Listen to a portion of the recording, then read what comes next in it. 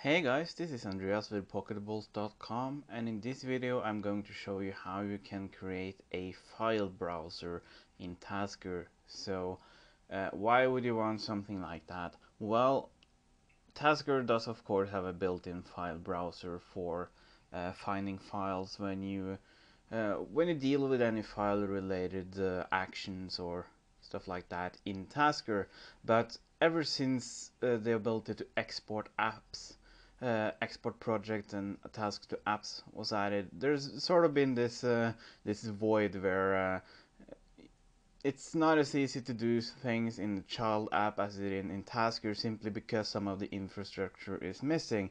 Uh, and one thing that's missing is a file browser. So if you want to make an app, uh, you might need a file browser in order to allow people to all select files for use in your app. So it's actually very, very simple to make one, but you have to do it the, the correct way. When I first tried this, I did not do it the right way. Um, I got some nice pointers from the Tasker Google, uh, Google group. Uh, so uh, now I have a method of doing it that's just so much more efficient. So uh, let's start with the scene because we need to reference that afterwards just let's just call it browser or something like that. Okay that already exists file browser then. And let's just create a large scene long press select menu. Uh, and then I'm going to start configuring this menu element. So we want the source to be a variable and let's just decide now that it's going to be called uh, uh, listed files. So that's the variable that's going to um, contain all the files in any specific directory which is then going to be used um, to actually display the items in the menu. And this is going to be a comma separated list of uh, of files and folders in that directory which is sort of going to well you'll see later but it's actually quite simple. Uh, selection mode let's just leave that at, uh, at none. Going to select the item layout which brings into this secondary scene editor which basically just edits how the uh, scene that's used for each item looks. So just going to make it completely transparent. Um, I'm going to just expand the text field and uh, decrease the font size in that text field so it's easier to see long file paths and stuff like that uh, file names. Just select OK. And then I'm going to go into item tab which is going to be what's going to happen when you tap an item. So when you tap an item uh, it's going to um, go into that directory. So that means that we need to use the list files option. The directory is going to be tap labels. I'm going to explain why why I do all of this later. Uh, tap label, to variable files, lowercase, local variable. So that basically uh, what this does is that when we tap a directory in the list, um, the name of that directory, which also happens to be the path, is going to be stored in the local variable tap label. So what we do when we list files using tap label as the directory is basically list the files in the directory that we tap and we're going to list that into the uh, variable files which actually creates an array not a variable. So we're going to end up with let's say we have a folder with 10 files so we're going to end up with files 1 files 2 files 3 and uh, all the way until 10 but we don't want an array because that doesn't really work that well here because well that's the mistake I made when I first did this. So we're going to transfer all of that into the listed files variable we created earlier uh, or created by created I mean we used it for the menu element itself I'm just going to set that to files and basically just uh, parentheses like this without anything in inside them, which basically means list all the items in the array separated by a comma. Going to click OK. Um, then I'm going to go into item long tab, which is going to be our uh, open feature. Select the open file, tab label again. Um, and then we're also going to destroy this scene.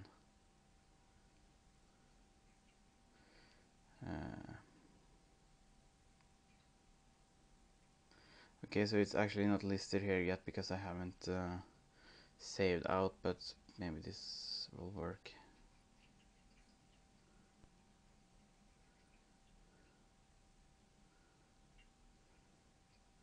Yeah, so it says that uh, this little warning triangle thing actually, it, it kind of wants us to, uh, it, it kind of believes that there is no scene called it, but we're actually in it now. So that's just because when you're dealing with scenes, you have to save all the way out of Tasker uh, for it to actually update its internal references, which is sort of annoying because it's it's often a, often the source of um, various errors and stuff like that. We're going to save out so it's just going to complain until we get this done. Just going to select background color all the way to black. Um, maybe if we go back in now it actually knows that it exists. So now you see the little warning triangle is gone and everything. So that's the scene. Um, we need a task to actually launch it. So um, let's just create that and we're basically going to do the same thing here as we did in the tap tab. It's just that we're going to start with the uh, with the root directory. So we're going to go into file list files. Just specify a slash for the directory which basically just means root. Uh, do the same thing read it into files. Uh, and then we do a variable set for listed files. We have to use global a global variable here because otherwise it isn't capable of transferring it between all the between the launch task and the scene and stuff like that. And that's also why you shouldn't use an array because then you would have to use a global array. And when you start using global arrays uh, there's so many uh, global variables being set that it slows it down something ridiculous. So once again uh, set it file um, all the contents of the array files. And then we're going to um, just show the scene.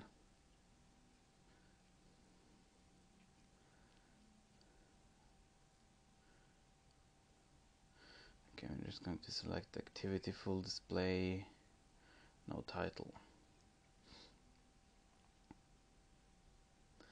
Um, just go out of that one. I'm going to add a task cut shortcut to the home screen just to have something to launch it with without having to go into Tasker. I don't really like doing that. So just select OK and I'm going to launch it. So what it did right now was it listed all the files in the root directory into the array, uh, the local array files, and then it sort of uh, took all of that and combined it into one global variable. Uh, that global variable is then the source of the menu item which we're scrolling through right now. Uh, and because it's comma separated, it's automatically separated into different um, different items. So when we tap tap on an uh, item, uh, the label, which is basically the name what we were tapping, is going to be used to list a new set of files and do the same thing all over again. So when we click it, it's actually you can see it's very fast and it basically goes straight into um, listing the files in the new directory. So just by doing this, we can uh, browse through all the files. Just go into uh, directory that has pictures of my dog and if I just try to tap it now it's going to give an error because now I basically told it to uh, try to uh, list the files in a directory that is actually a file or not a directory. So instead we're going to long tap and then it's going to open a file.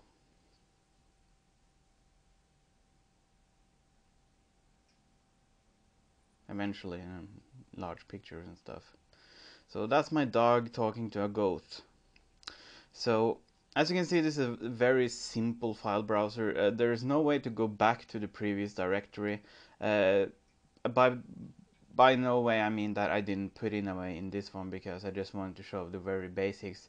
But you can make it as uh, as advanced as you want. You can just create something on top that says go back because then you basically just store the last version of uh, listed files and then basically just uh, go back to that one.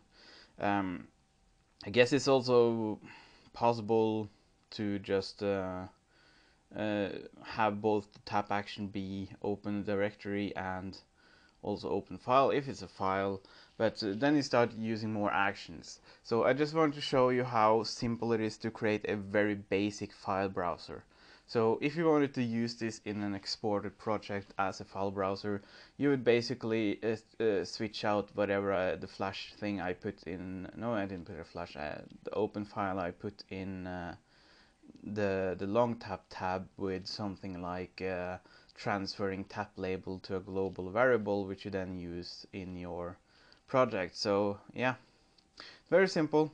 Um, just also a very nice uh, example of why global variables, uh, why global arrays are bad, which I didn't know when I start first started doing this.